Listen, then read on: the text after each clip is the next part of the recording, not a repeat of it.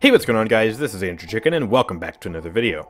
There is an extremely important mechanic in Paladins which is completely unexplained in the game itself, and it causes certain combos between loadouts, items, and abilities to become less effective. Diminishing returns is a mechanic which causes multiple sources of an effect, like movement speed, cooldown reduction, reload speed, and more, to be reduced for each separate instance or capped at a certain value. It's really important to understand how diminishing returns work so that you can make better loadouts and improve your item buying strategies, which is why in this video, I'll be breaking down exactly how diminishing returns works in an easy to understand way. This mechanic isn't explained at all in game, and the only way to find information about it is either on the wiki or by looking up videos on the topic. And of course, there's only one comprehensive video on diminishing returns that I was able to find, and it was my own guide on diminishing returns from two years ago, which has outdated examples and is poorly edited. So I think it's about time for an updated guide on exactly how diminishing returns works. So without further ado, let's go ahead and get straight into the video.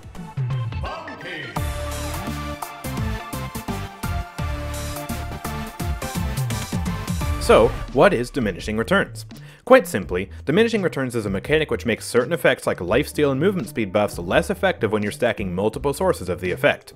This mechanic guarantees that you will receive the highest value from a buff you receive, and then scales down all the other values to make them less powerful. For example, if you have Ash's Indomitable card, which gives 50% lifesteal, and then by Life Rip on top of that, which grants an additional 30% lifesteal, you receive the full 50% from Ash's card, but only about 10% on top of that from Life Rip, giving you about 60% lifesteal in total. This makes Life Rip a pretty much useless buy when running this card with Ash, all thanks to diminishing returns. Another great example is damage reduction. Yagorath has passive 35% damage reduction when she's in planted form. If she were to buy Haven 3 on top of that, she would only be receiving a further 10% damage reduction buff instead of the full 18% extra, all thanks to diminishing returns. Or, if you're playing Terminus with Undying, Strength of Stone, and Haven 3, then instead of getting the 58% damage reduction as would be expected if damage reduction were purely additive, Terminus only gets around 46% damage reduction due to diminishing returns. Granted, it's still a lot of damage reduction, but it's a full 12% less than what it would be without diminishing returns. Now, normal effects such as damage reduction and life rip have a standard cap of 95%, so even if you can somehow get 100% lifesteal or beyond in spite of diminishing returns, it'll still limit you to 95%.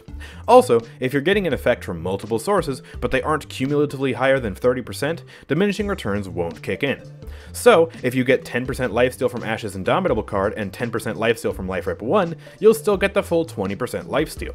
Once you upgrade Life Rip to level 3 for its 30% bonus, then the 10% from Ash's card will be diminished, giving you a total of 37% lifesteal.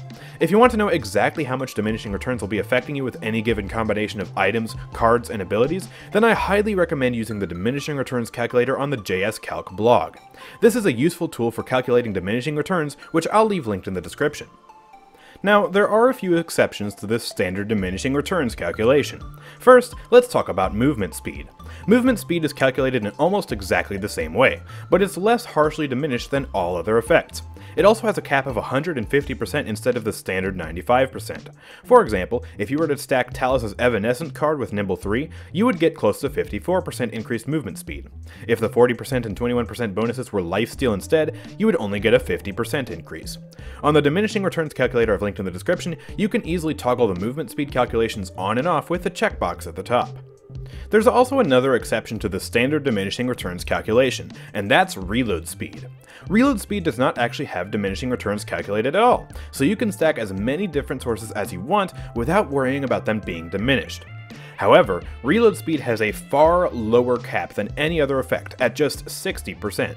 This is important to take into account when considering using one of the many reload speed cards in the game and stacking it with Deft Hands.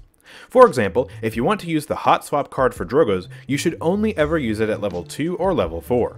This is because at level 2 and level 4, the card is a multiple of 20, so it can stack with deft hands at tier 1 or tier 2 to get you the maximum amount of reload speed possible, no more and no less. If you use Hot Swap at level 5 and buy Deft Hands 1, then you're wasting a loadout point, because you're stacking a 50% reload speed buff with a 20% reload speed buff, and the 10% reload speed gets wasted because of the 60% cap. This rule generally applies to all reload speed cards. You want to try and get them as close to a multiple of 20 as possible if you plan on buying Deft Hands, so that way you don't waste any loadout points or credits. Lastly, there's one final exception to the standard diminishing returns calculator, and that's damage amps and damage taken debuffs stacking without diminishing returns. You can have your damage amplified in two different ways in Paladins, by debuffing an enemy to cause them to take additional damage, and by buffing yourself to make yourself do additional damage. There are two ways to debuff an enemy to cause them to take additional damage, hitting them directly with Drogoz' Fire Spit and marking them with Tyra's Hunter's Mark. There are also only two ways to amplify your damage, getting shielded by a Torvald using Field Study, and by being under the effect of Furia's ultimate. Now, if you have both Drogoz' Fire Spit and Tyra's Hunter's Mark on a single target, or you have both a shield with Field Study and Furia's ultimate at the same time, then the two damage amps will have diminishing returns on each other, and the two damage debuffs will have diminishing returns. But this is so rare that it's honestly not worth worrying about. Just know that if you have Furia's ultimate active and you mark someone with Tyra or spit on them with Drogoz, there will be no diminishing returns between the damage amp and the damage taken debuffs. Also, it's important to understand how conflicting effects work, because certain positive effects like movement speed and healing increase have their negative counterparts, being slows and healing reduction. If you're getting multiple sources of a positive effect and a negative effect, then the game first calculates the full diminished value for both the positive and negative effects. Then, it stacks those two values additively. For example, Inara can stack the healing increase from Earthen Guard with Rejuvenate. With diminishing returns, this is about a 42% healing increase in total. Then, this stacks additively with a healing reduction effect from Cauterize 3, which is 80% reduced healing. So, Inara would receive 38% reduced healing while her Earthen Guard is active with a Cauterize 3 debuff and Rejuvenate 3. And that just about covers all the different ways that diminishing returns can affect your gameplay in Paladins. Now, let's discuss when it's practical to even consider diminishing returns when buying items and making loadouts. Like I said earlier, when stacking reload speed cards with deft hands, it's important to try and get the value from your card as close to a multiple of 20 as possible, so that way you're not wasting loadout points or credits. Diminishing returns is also important to consider when you're stacking one huge bonus with another smaller bonus. Harkening back to the lifesteal example with Ash, the 50% lifesteal bonus from the Indomitable card is so massive that it diminishes Life Rip 3 down to a measly 10% increase on top of the 50% for a total of 60%, making it a waste of credits to buy Life Rip when running this card at level 5.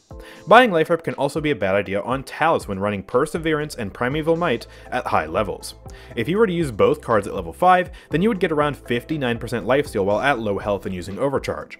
Adding Life Rip 3 on top of that adds just a measly 7% lifesteal on top of that, bringing the total up to around 66%.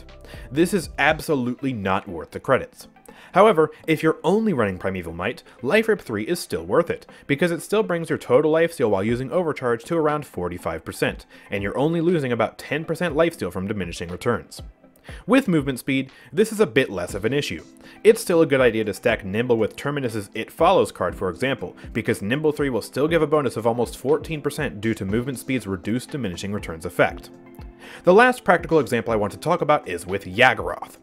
As I mentioned earlier, Haven 3 gets diminished with her passive damage reduction to only grant a 10% damage reduction increase instead of the full 18% Haven normally grants. This gets diminished even further when Yagorath uses Harden, which gives her 65% damage reduction at base and causes Haven 3 to only grant her an additional 4% damage reduction on top of that. So because of this, does that mean Veteran 3 is a better item on Yagorath, since Haven gets diminished by her damage reduction abilities while Veteran gives her more health to apply this damage reduction to? Well, no. While it is true that Veteran is clearly better when Yagorath uses Harden, Harden makes up for a significantly smaller portion of your gameplay than simply standing still in planted form or using travel form. In planted form, we can do a bit of simple math to calculate her effective HP with Haven 3 versus Veteran 3, to see that Yagorath has slightly more effective HP with Haven even with diminishing returns. Effective HP is basically the amount of HP you would have if damage reduction gave you extra health, instead of mitigating the damage taken from shots. It's a good way to visualize how much damage reduction is making you tougher to kill compared to just raising your maximum HP. The higher your effective HP, the harder you'll be to kill. You can test this in the shooting range and see that with Haven 3, it takes one more shot from the Cassibots to kill you than it does with Veteran 3 when just sitting in planted form. And of course, in travel form, the damage reduction from Haven is not getting mitigated by diminishing returns, and it gives her way more effective HP than Veteran. So, even on Yagorath, the one character who Veteran might actually be good on, it's still ultimately worse than Haven. But anyways, that about wraps up this guide on diminishing returns in Paladins. It's a very important mechanic to know about, because it can affect how you buy items and make loadouts, and also explains why some builds aren't as powerful as you might think they should be. If you found this video helpful, make sure to drop a like down below and also share it with anyone who you think might find this video useful. Also, make sure to subscribe for more content like this from me, and check out the Discord server and the Twitch channel linked in the description. I stream Paladins regularly on Twitch, and you can also find a whole bunch of people to play with on my Discord server. But anyways, I'll see you guys next time. Peace out.